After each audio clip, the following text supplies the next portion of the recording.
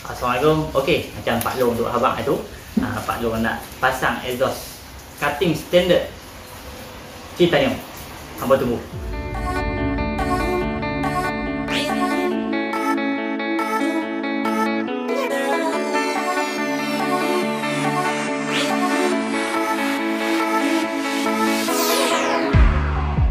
Okey, uh, hari ni cuaca tak berapa elok sikit jadi kualiti video ni dia punya suara tu adalah bunyi hujan sikit kan kat sini hujan. Uh, depan ni ada dua exhaust. Yang ni standard, yang ni cutting standard.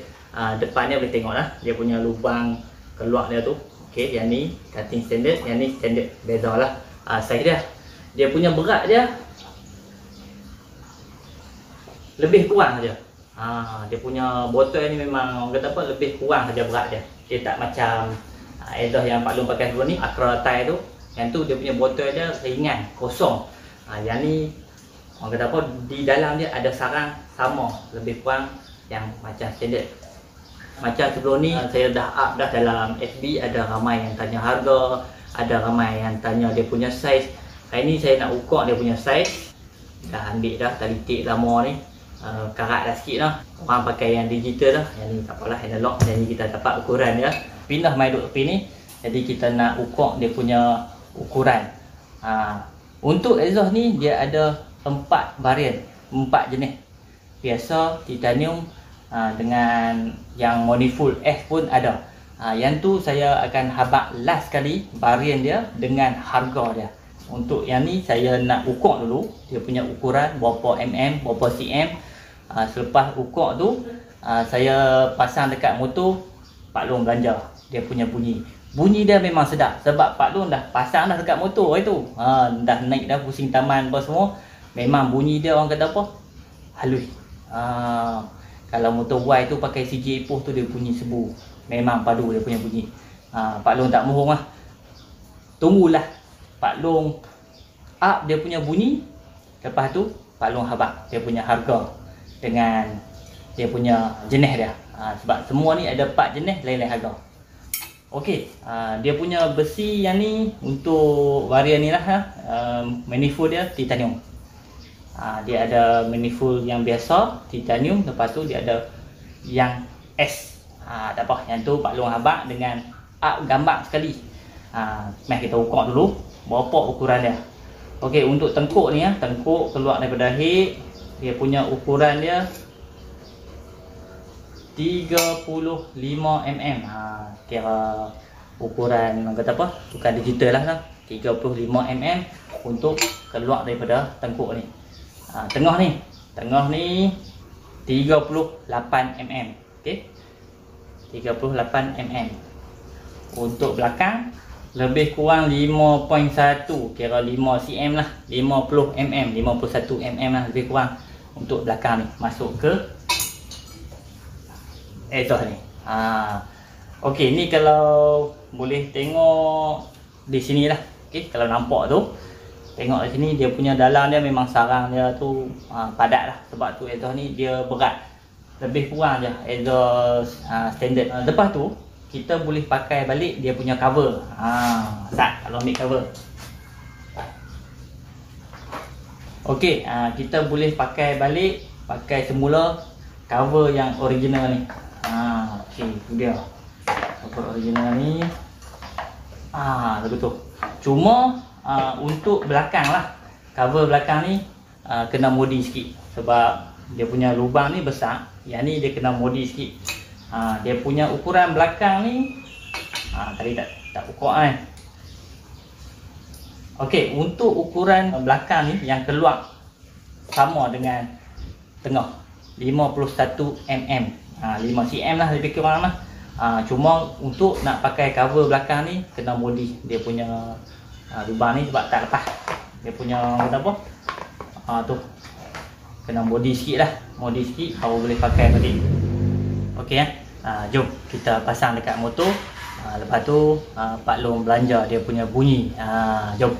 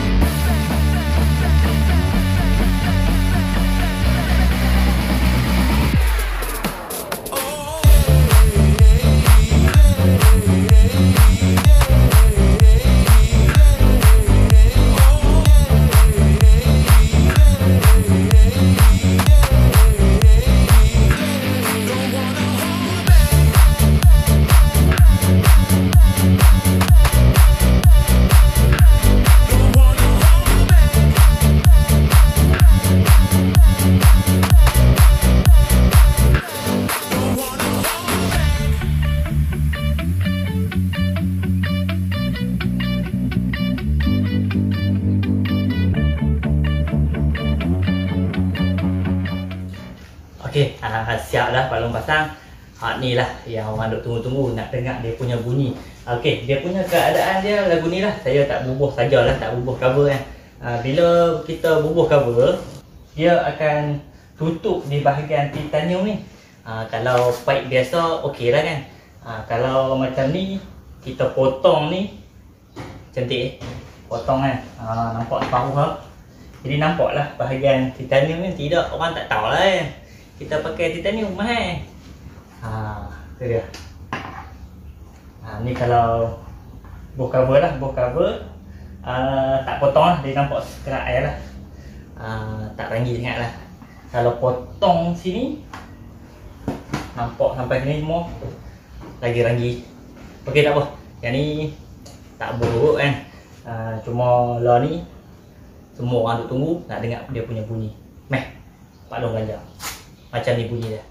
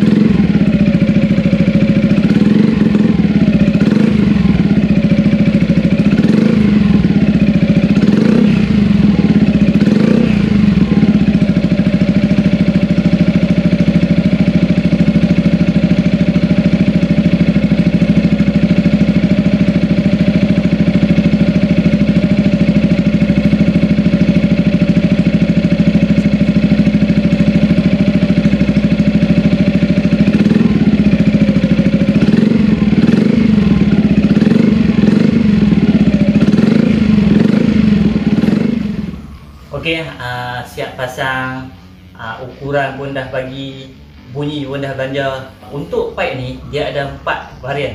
Uh, empat jenis lah. Satu cutting sama macam ni. Cuma dia punya manifold standard. Manifold biasa. Besi biasa. Yang tu harga dia RM900.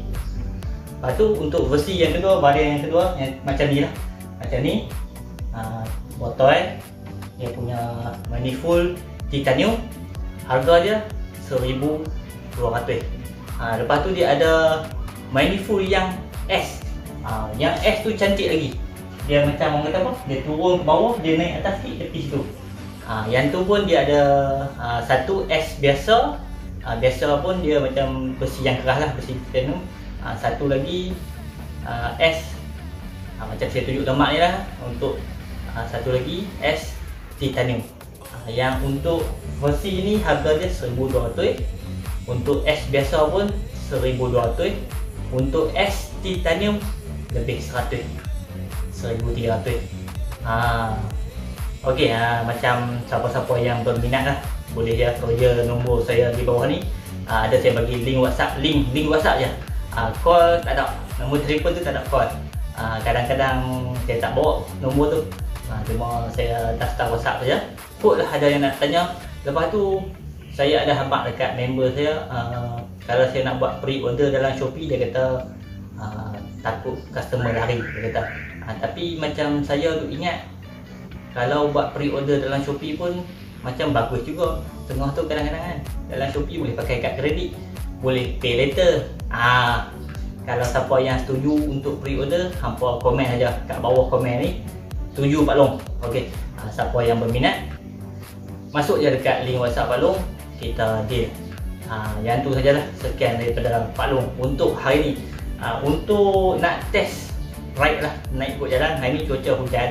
Jadi Pak Long akan review hari lain lah. Mungkin minggu ni kalau free petang-petang kan bawa pergi ke pantai ke apa kita nak tengok dia punya pick up dia lajak dia macam mana. Ada beza tak? Uh, sesuai tak untuk motor ni? Jadi uh, untuk motor yang saya pakai ni standard. Saya motor memang saya tak buat apa lagi. Puli pun tak usik. Uh, sebab tu kalau kalau nak ride takat dah ni tak pernah jelas ride ramai-ramai. Kalau ride ramai-ramai memang kena tinggal uh, Memang saya tak usik. Cuma orang kata apa? Buah accessory bling-bling je. Tie look alah alah Tak full tie look ha. Okay uh, Siapa yang Berminat? Komen. Ataupun Roger Pak Long Assalamualaikum